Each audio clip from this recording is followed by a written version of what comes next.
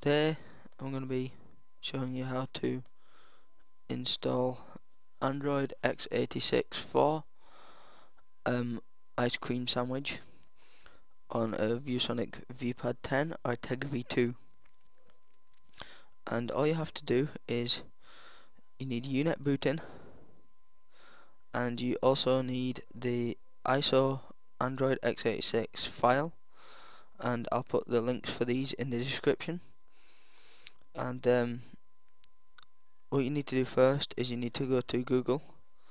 And you can either either go to Google type in unetbootin and it's the one that says unetbootin.sourceforge.net you just click on it and click download for Windows like this.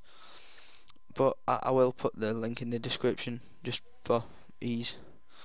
And um, you just click that and you download it.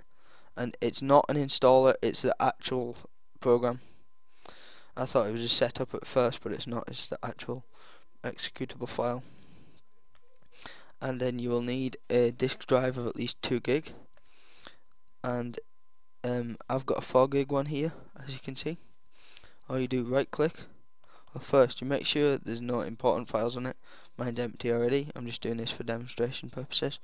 You right click click format. You make sure quick format is ticked and then give it label of whatever you want. Click start and then you click OK. You wait for a second and that will get there. There we go. And then you click OK. Click close. And then that's the first bit done. Then all you need to do is right click on UNetbootin click run as administrator. Click yes. Um, and when UNetbootin loads up all you need to do is um, go to disk image. Make sure this is highlighted here. Make sure ISO is highlighted. USB drive. Find your drive. Mine's H. But to make sure all you do is go into Windows Explorer. Um, you go to here and the one that's empty is the one that we're using. Well the one that you've just formatted is the one that we're using. In my case it's H. So then you, you put H there. You don't need this. You just browse for this file. So in my case it's desktop. And then Android x86 4.0 Tegra V2 click open. And then you click OK and then we wait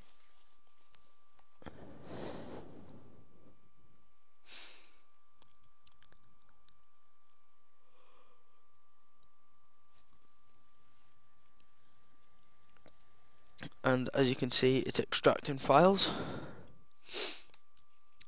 And um, it's got 12 files to do and normally at 91% it stops for a while don't be worried about that. It's not frozen. It does it for everyone as you can see in a minute. It will probably freeze on mine.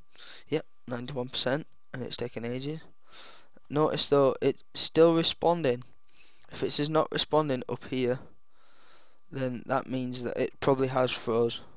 But just give it a while because the 91% bit the system.sfs it's 171 megabytes so it takes quite a while takes up some resources as well. So if it freezes then that's probably why. Just leave it. And if it's not done it within about 3-4 minutes then exit it.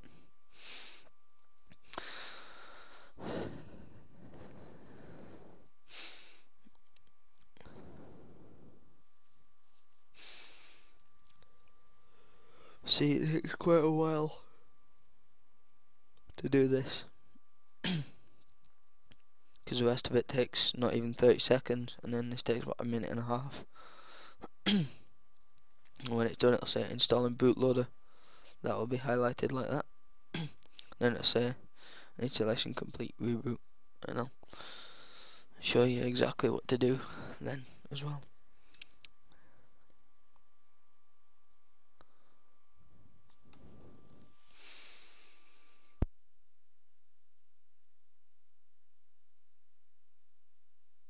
That's that bit done. Um, it's on installing bootloader now. As you can see it's installing syslinux and now it's done. And then it says reboot now or exit.